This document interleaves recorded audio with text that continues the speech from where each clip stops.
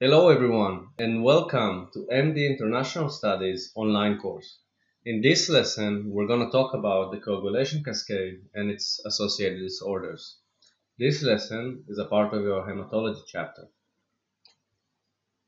So in this lesson, we're going to review the coagulation cascade. We're going to talk about the important factors and different components involved in this cascade we're going to talk about the different tests that we use in the laboratory to evaluate the function of the coagulation cascade and also the function of the platelets. We're going to talk about the coagulation cascades disorder and we're going to discuss and review again the different patterns of bleeding associated with bleeding disorders when we're comparing abnormalities of platelets or abnormalities of the coagulation cascade. Now we're going to dive in more specifically into bleeding disorders that are caused from coagulation cascade abnormalities and we're going to separate them into inherited and acquired etiologies. So what is the coagulation cascade itself? Well, we've already talked about the development of primary platelet plug which has more to do with the actual platelets. The coagulation cascade is more used for secondary hemostasis and basically stabilizing the primary platelet derived clot. So the coagulation cascade itself involves a system of interacting proteins. And most of these are proteases that upon activation cause and activation of the following factor in the cascade. Now, the result of this cascade is the formation of a fibrin mesh, a cross-linked fibrin mesh. Now, this mesh would stabilize the primary clot, and this stabilization in the endpoint would lead to the formation of the secondary clot or secondary hemostasis. Now, the activation of the coagulation cascade can be separated into two pathways. We have the intrinsic and the extrinsic. Now, both of them are going to meet at a common point and continue on basically the same. Now, the merging point and the continuation is often called the common pathway. Now, the coagulation system itself um, which is also comprised of the platelets, has to be in a constant balance to avoid hypercoagulative state leading to inappropriate or non-specific formation of a thrombi and it has to be ready to coagulate in case of extravasation, in case of certain injuries. And so there is a constant balance between procoagulation and anticoagulation. And these factors in the end are going to balance this system to reach a certain hemostasis. Now, here we see the actual coagulation cascade.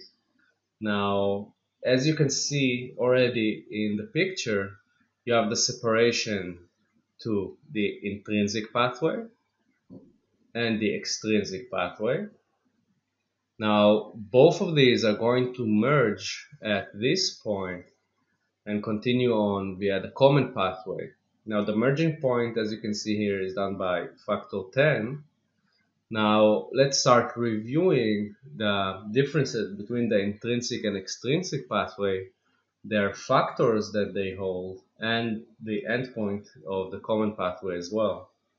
So, if we start at the intrinsic pathway,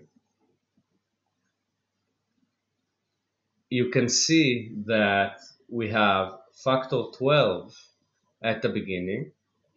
Now, a small letter, the A, denotes that this factor is activated. So, activated factor 12 is going to activate factor 11. Factor 11 is going to activate factor 9 and activated factor 9 is going to activate factor 10 And now we are already starting at the common pathway. So let's take a look at the extrinsic pathway, which would lead to the same endpoint. In the extrinsic pathway, we can see that tissue factor would cause the activation of factor 7. Now, activated factor 7 is going to activate factor 10. Now, as you can see, now we've basically reached the common pathway. From activated factor 10, we see that prothrombin would become activated and would become thrombin. Now, thrombin is factor 2. You're going to see in just a moment. We're going to discuss actually every of these factors, where they produced, their functions, etc. But the endpoint is the activation of thrombin by factor 10, activated factor 10. Now, thrombin itself is going to form fibrin from its precursors, fibrinogen. Now, once we have fibrin, the cross-linking of it to cause this fibrin mesh is going to be helped by factor 13. So let's go over the different factors, the important ones in the coagulation cascade. So we start with factor 1, which is actually fibrin. Now, fibrin is the building block of the secondary clot. It forms the fibrin mesh and it is created from fibrinogen by the action of thrombin. Now, thrombin, as you're going to see in a moment, is just activated factor 2. So, factor 2 or prothrombin becomes thrombin when it is activated by activated factor 10. And as we've just said a moment ago, activated thrombin is going to create fibrin from fibrinogen. Now you see that factor 2 or prothrombin amongst other factors in this list are highlighted in red. Now this denotes that these factors are vitamin K dependent. Now we're gonna talk about exactly what that means in a bit, but you do need to remember which factors of the coagulation cascade are made or depend on the activity of vitamin K. So here you can only already see three of them. So remember factor 2, factor 7 and factor 9 are vitamin K dependent and we're also going to see factor 10 and protein C and S also as dependent factors on the action of vitamin K. So let's continue with factor 5. Now, factor 5, we haven't seen it so far in the cascade, but we're going to explain where it fits in just a moment. Now, factor 5, when it is activated by thrombin, it actually potentiates the function of factor 10, which would lead to the formation of additional activated thrombin. So basically we have a positive feedback loop. If you see in the picture again, we can say that thrombin itself or activated factor 2 is going to activate factor 5 and factor 5 is going to potentiate the action of activated factor 10 leading to more formation of activated factor 2 or thrombin. So we basically have a positive feedback loop. This is caused because when we have the activation of the coagulation cascade, we basically want to create locally as much activated thrombin to form the clot itself. So this is done in part by the positive feedback loop, which is made by factor 5 and factor 8, which we'll talk about in a minute. So let us talk about factor 7.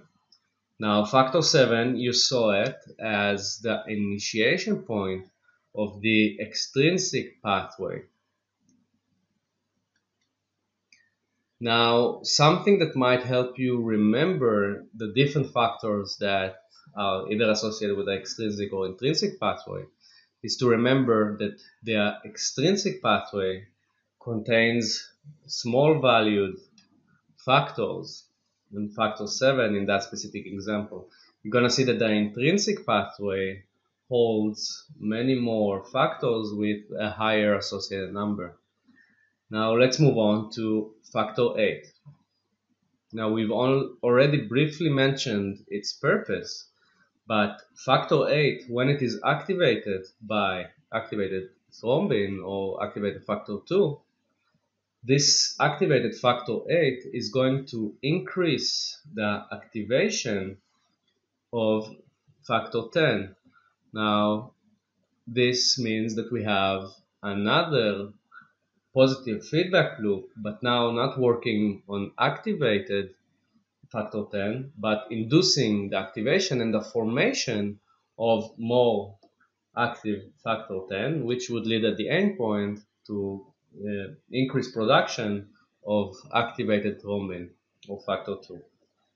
Now, both of these, both factor 5 and activated factor 8 are deactivated by protein C.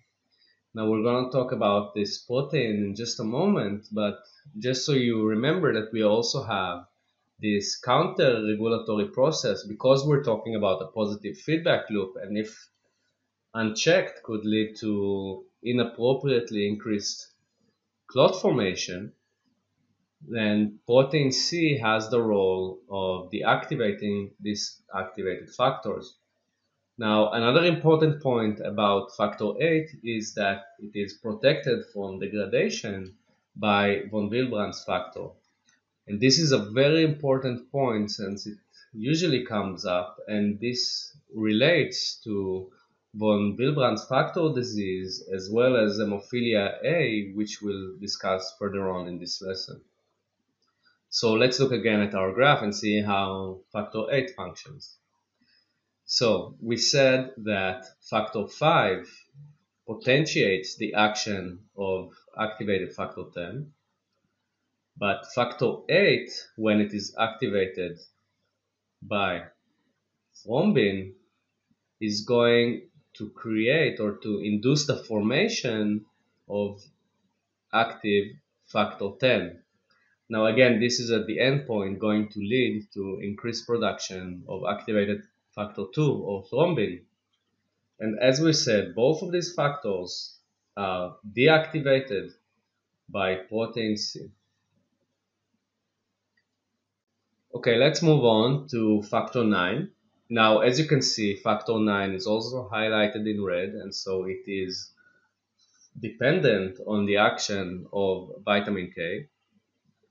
Now, as we said before, when it is activated, it causes the activation of factor 10, leading to the formation of activated factor 10, which will continue on to produce activated factor 2. Factor 10 itself, another factor that is dependent on the action of vitamin K, and as you saw before in the pathway, is actually the merging point between the extrinsic and intrinsic pathway and the beginning point of the common pathway. And as we said before, its function when activated is to turn factor 2 from prothrombin into the activated form of thrombin. Now, factor 12, as we've said before, is the initiating point of the intrinsic pathway. And again, as it is highlighted in red, it is also vitamin K dependent. Now, factor 13, as we said before, is responsible to help for the interlinking of fibrin to create the fibrin polymers and the actual proteinaceous mesh. Now, proteins C and S have the exact opposite function as most of the factors we've just talked about. protein C and S actually have a net anticoagulant effect. As you remember a moment ago, we said that they are responsible for the inactivation of factor 5 and 8 and they are most useful for the regulation of the coagulation cascade. We need some counteracting mechanism that would avoid an hyperactivation of the coagulation cascade when it is not needed. Now, another very important point about these is that out of the factors, except for factor 7, they actually have the shortest half-lives. Now, this means that when we block the function of vitamin K, one of the first factors that are going to be inactivated by this because there would be no more available vitamin K would be protein C. Now, because it is deactivated before the other factors will be deactivated, which are procoagulation, the initiation of treatment with vitamin K inhibiting drugs would lead to a transient hypercoagulability in the beginning of treatment. Now, this is a very important point, and we're going to talk about it further on, but try to remember that treatment with warfarin, for example, is associated in the beginning by a hypercoagulable state. And this is caused because protein C is also dependent on vitamin K, and because its inactivation would occur much sooner than the rest of the factors, and because it has an anticoagulant effect, the net effect in the end would be hypercoagulable state. And so we can often see transient hypercoagulable state, which more often than not is associated with tissue and skin necrosis.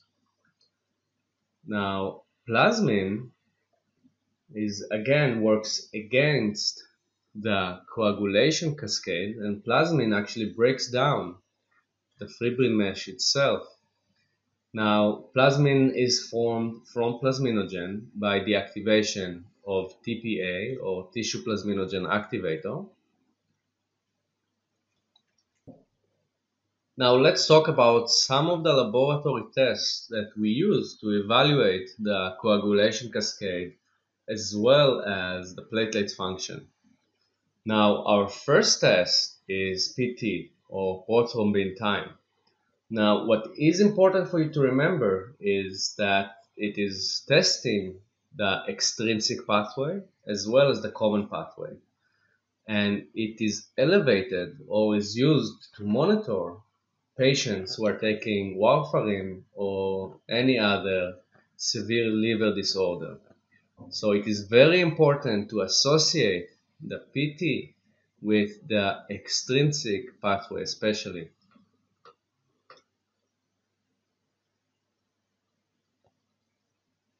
So remember, in the extrinsic pathway, we can use the PT to evaluate its function and it is mostly used to evaluate the response to warfarin.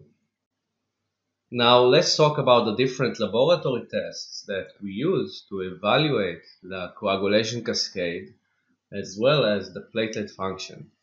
Now the first test we'll talk about is called PT or prothrombin time.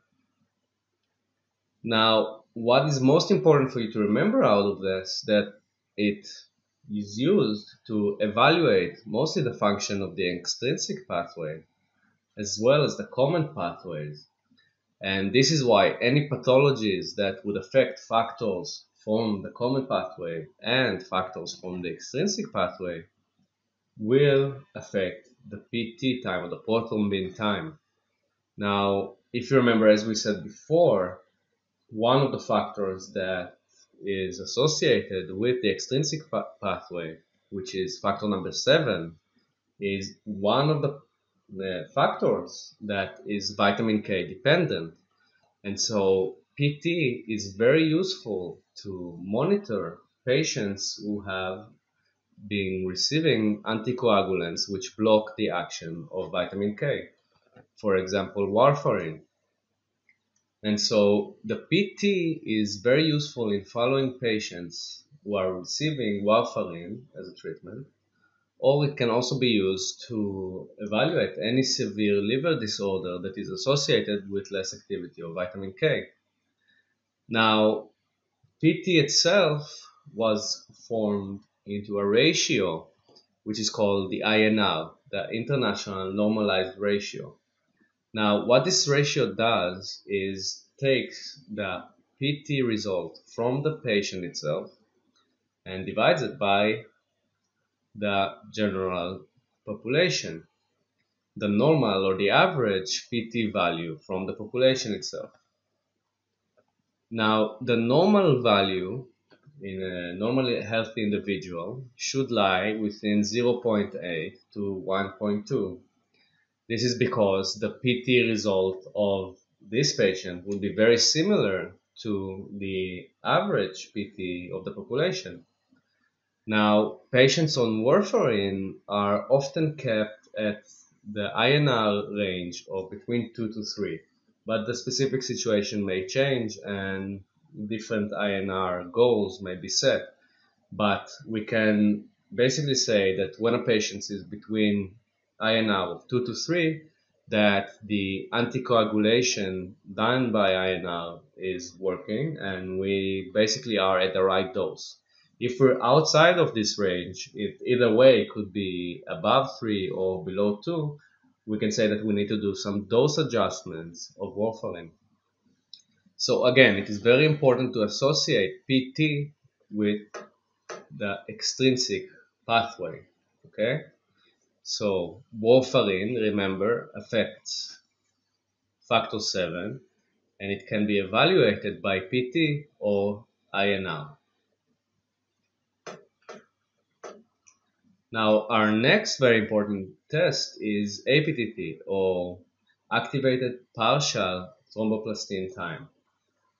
Now as we said before, PT tests mostly the extrinsic pathway, while APTT tests the intrinsic pathway and, and as well common pathway.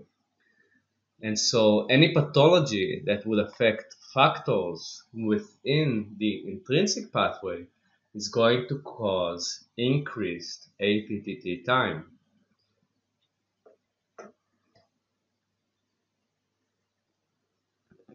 And for this reason, for example, we say that the hemophilias, for example, affecting, just as an example, factor 9, if we have hemophilia B, and this would be associated with elevated APTT.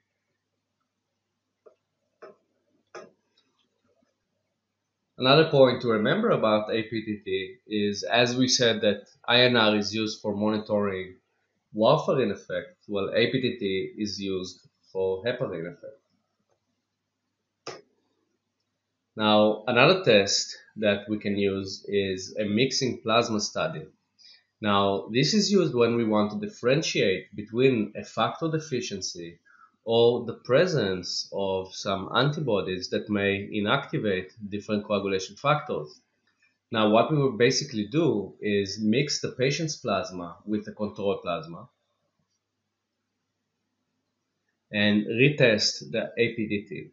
Now, if it improves, it means that we had a factor deficiency because when we mixed the patient's plasma with the control plasma, the APTT improved.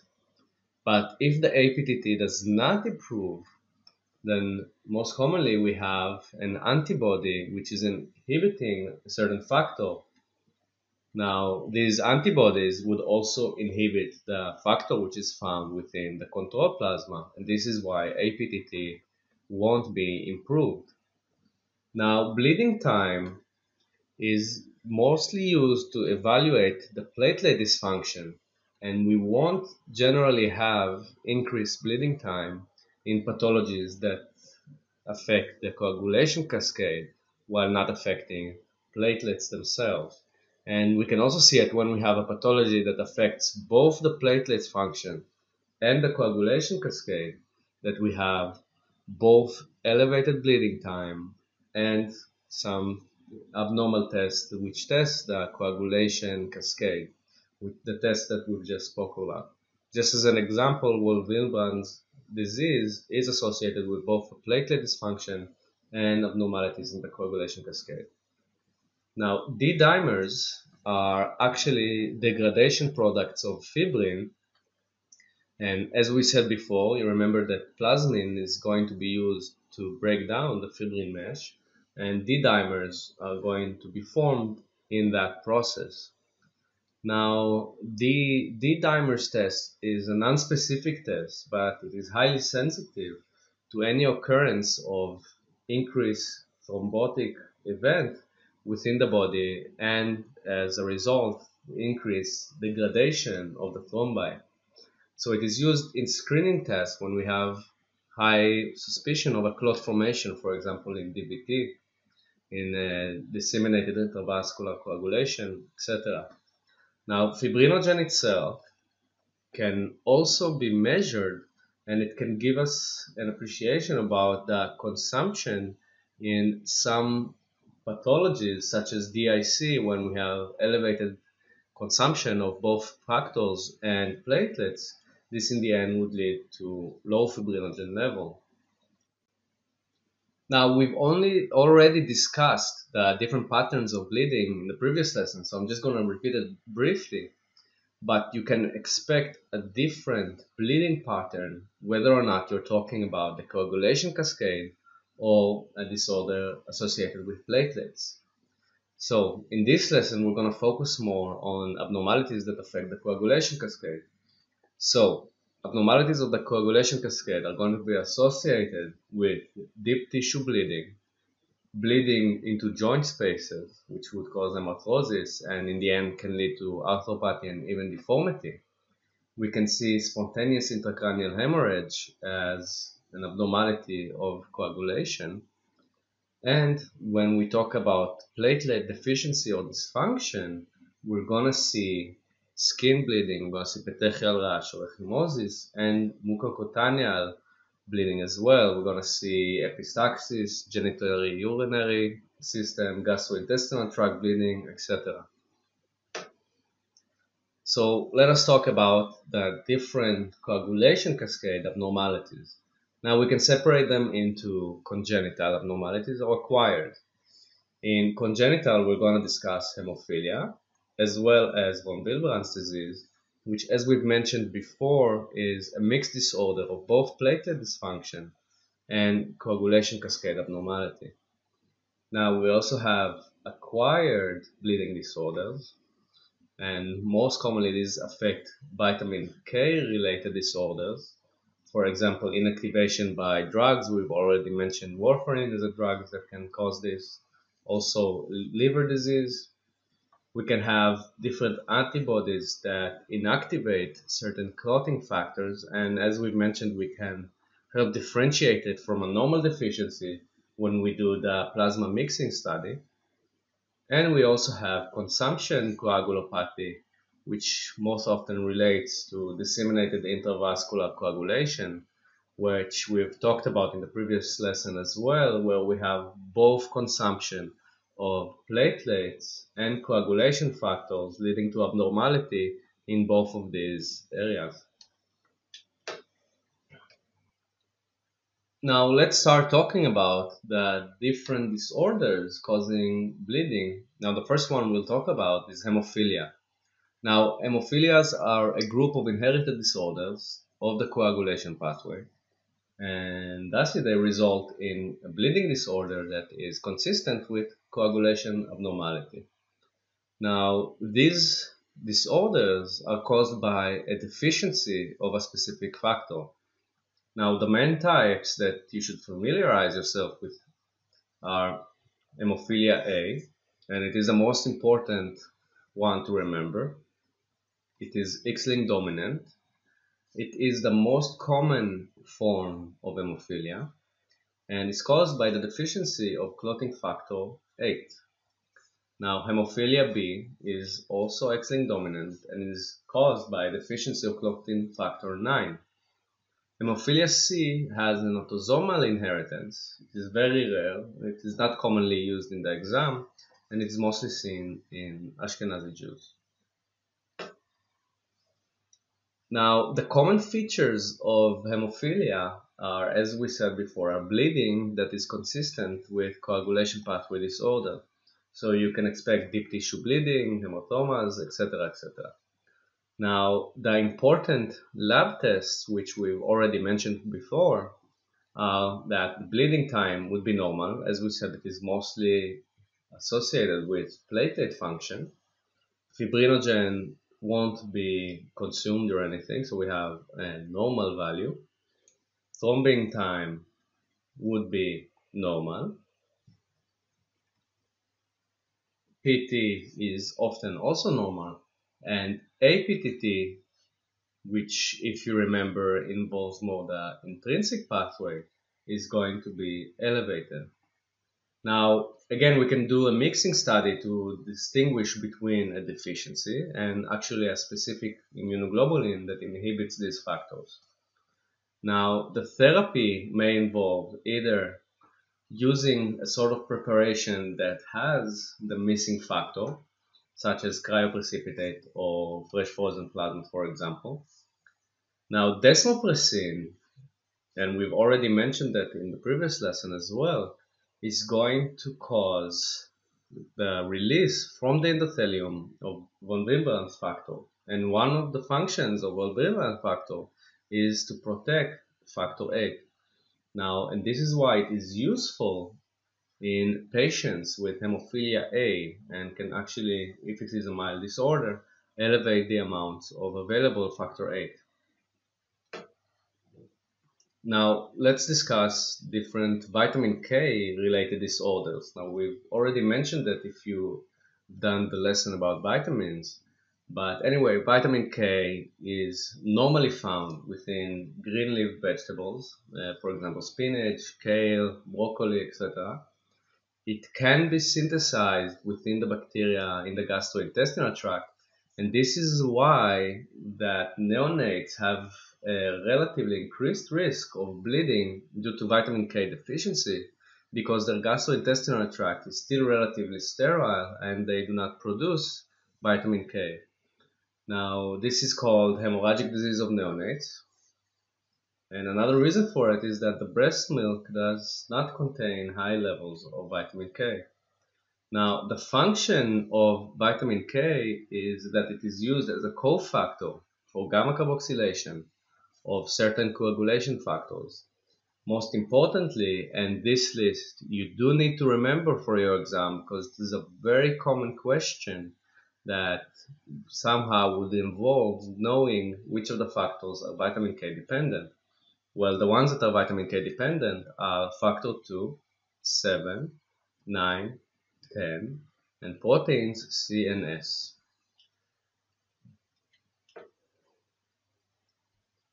Now, a deficiency in vitamin K would cause bleeding disorder with a coagulopathy pattern of bleeding. Now, the etiologies that are associated with it, we already mentioned hemorrhagic disease of the newborn. We can see that in right certain rat poisons, they actually are vitamin K inhibitors. We can see it in iatrogenic causes, such as treatment with warfarin, liver failure, severe malnutrition or malabsorption can also lead to vitamin K deficiency. Prolonged use of antibiotics, because we said one of the areas that we receive vitamin K from is from the production in gastrointestinal tract bacteria. Now, because these factors are synthesized by the liver in, in case of liver cirrhosis or severe hepatic failure, administering vitamin K won't be very useful in the treatment since we need a functional liver for the activity of vitamin K. And in that instance, we actually would prefer the use of fresh frozen plasma.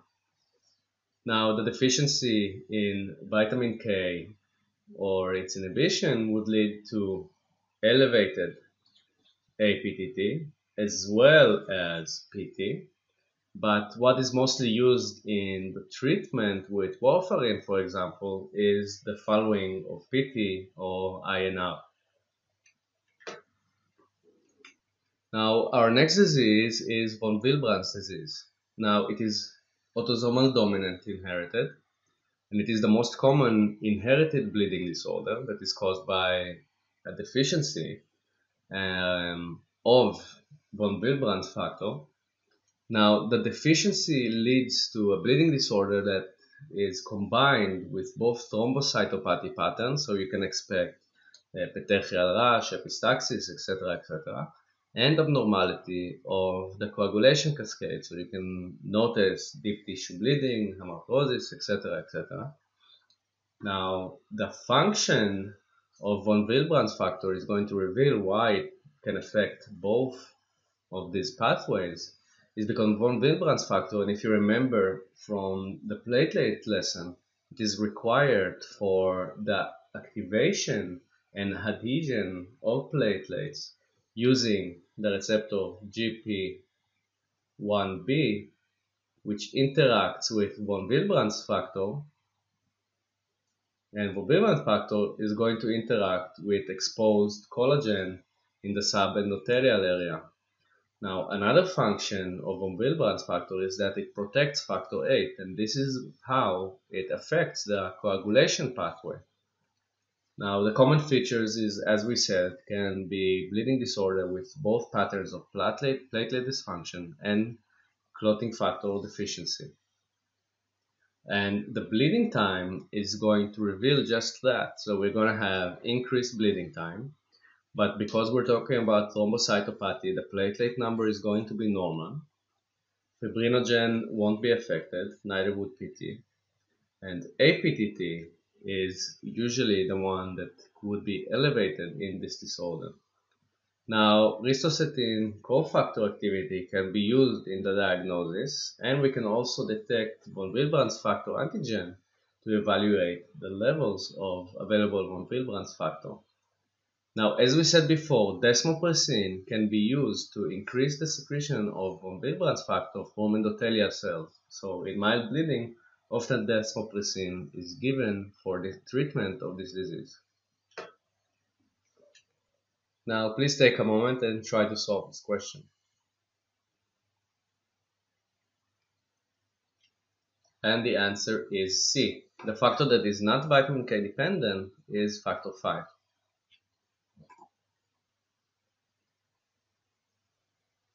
Now please take a moment and try to solve this question.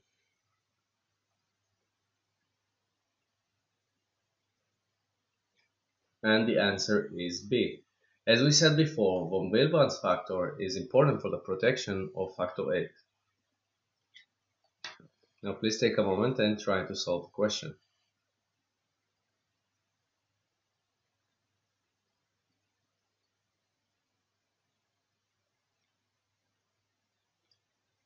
And the answer is D. According to the history, we need to suspect a coagulation disorder and because the most common hemophilia, inherited hemophilia, is going to be hemophilia A and a deficiency in factor VIII.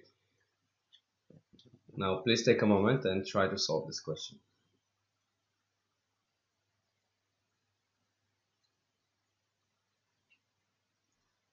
And the answer is C. As we said before, in patients treated with warfarin, in the beginning, because the half-life of protein C is very short, shorter than the other factors that are vitamin K dependent, and because protein C is an anticoagulant or has an anticoagulant effect, because it is lowered first before the other factors, we're basically entering a transient hypercoagulable state until the deactivation of the other factors would occur. And this is why in patients who have started with warfarin, they often get with it for a few days heparin to counteract the risk of transient hypercoagulability. Now please take a moment and try to solve this question.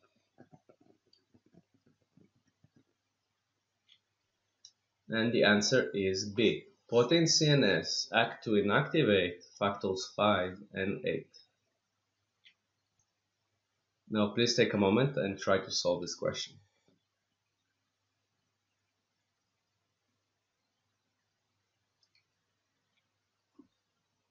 And the answer is C. Here we see that we have a patient with a history that is consistent with a coagulopathy.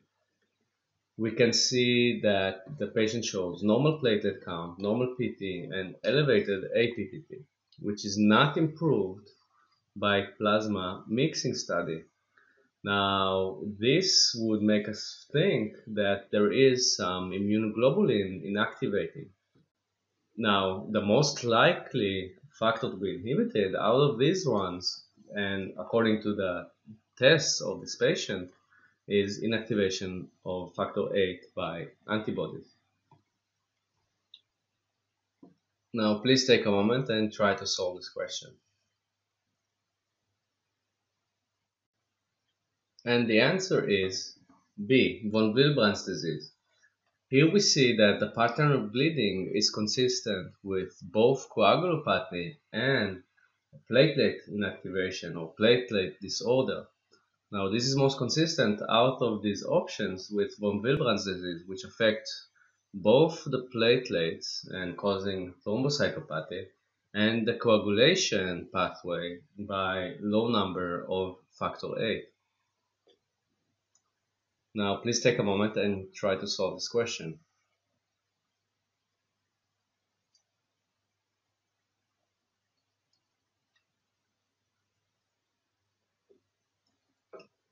And the answer is D.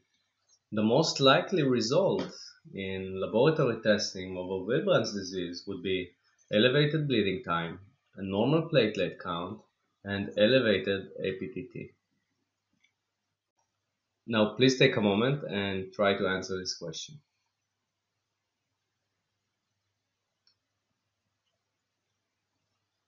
And the answer is A. As we said before, one of the treatments used for von Willebrand's disease is using desmopressin, which would increase the release of von Willebrand's factor from endothelial cells. Now please take a moment and try to solve this question.